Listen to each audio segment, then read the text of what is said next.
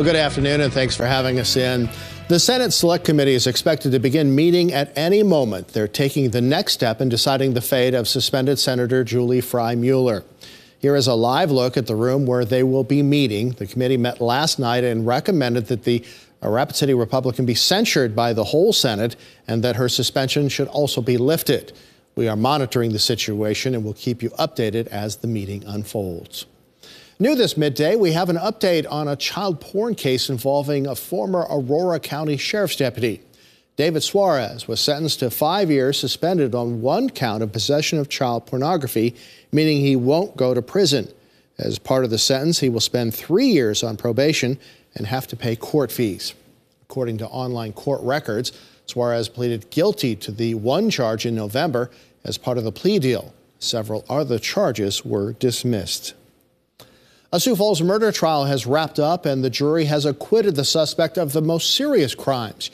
Yesterday, jurors found Ryan Odland not guilty of first degree murder, second degree murder, and manslaughter. The jury only convicted him of possessing a gun after being convicted of a violent crime. This midday, he remains in the Minnehaha County Jail awaiting sentencing this afternoon. Now, the case goes back to October of 2020. That's when Sioux Falls police were called to a gas station at 57th and Marion for a report of a crash. When they got there, they discovered 36 year old Clay Stubbs had been shot twice. Police say uh, he met Odland and Lowell Loberg for a drug deal. Loberg has uh, pleaded guilty to being an accessory to homicide as part of a plea deal.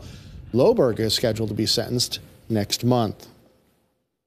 Also new this midday, Sioux Falls man is behind bars accused of two robberies that happened yesterday afternoon. The first was reported just after 2 p.m. at the Lucky Lady Casino near 11th and Summit, just west of downtown. Police say a man walked in, showed a knife, and tried to get cash. He ended up leaving without any money. The second robbery happened about two hours later, just a few blocks west at the Kum & Go at 11th and Grange. In this case, a man also walked in with a knife. He got some cash and took off. Police were able to get a description of the robber from witnesses and surveillance video. 41 year old James Ball was arrested uh, late last night in the area of the Lucky Lady Casino. Ball is charged with robbery and aggravated assault. Turning now to a look at your first uh, your midday uh, forecast with Brian Karstens. And you said a cold front was moving in, Brian. That does not sound good. yeah, tomorrow we'll have to deal with that again. But today, at least the sunshine, I think, always a major help, isn't it? Uh, especially now that we're into February and that power of the sun in February. It's a bigger deal now, too. 12 degrees currently in Aberdeen, so we're slowly ticking upward. A lot of snow of course on the ground here, too.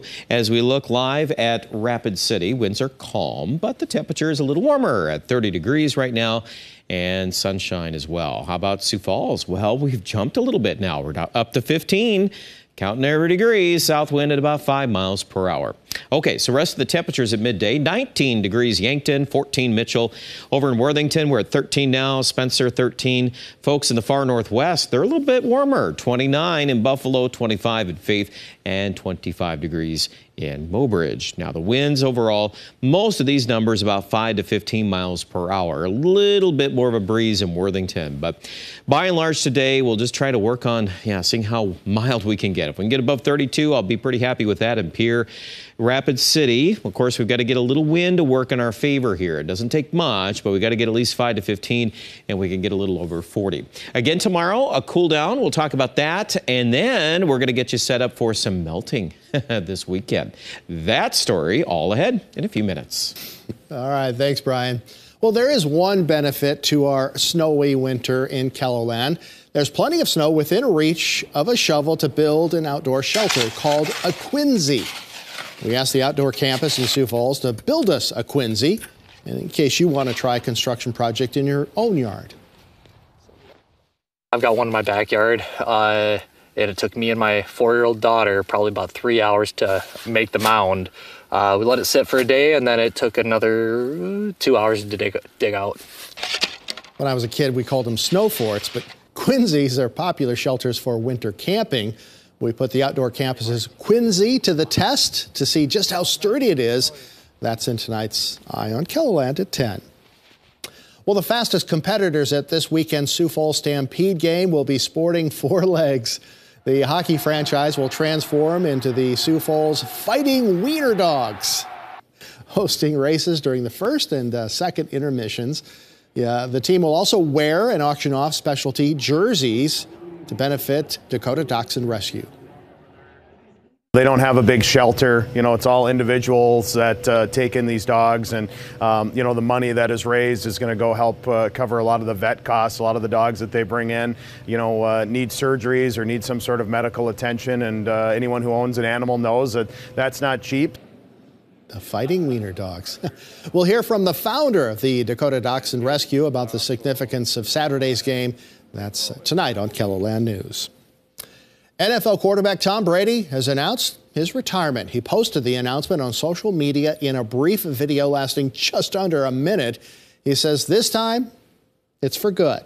He says the most successful quarterback in NFL history and one of the greatest athletes in the team of sports.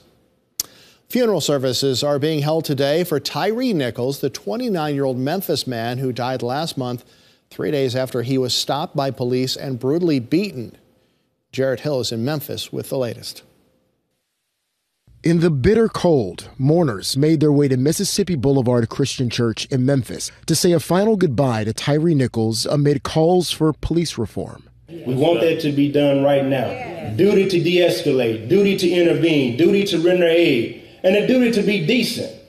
You don't have to be trained to be a decent human being. Last night, family and friends of the 29 year old dad who loved to skateboard said they're focused on celebrating his life even as they continue to fight for justice. My little brother didn't deserve none of this.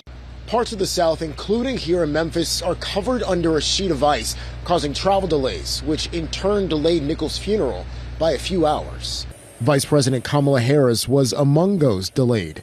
Nichols' funeral follows revelations that four of the five fired Memphis police officers facing murder charges for his death had been reprimanded or suspended in the past. Anyone with a suspension record like that should certainly not have been on the force, certainly not on an elite force. The Memphis Police Department says it will release more audio and video of the violent encounter after its investigation concludes in the coming weeks. Jarrett Hill, CBS News. Memphis.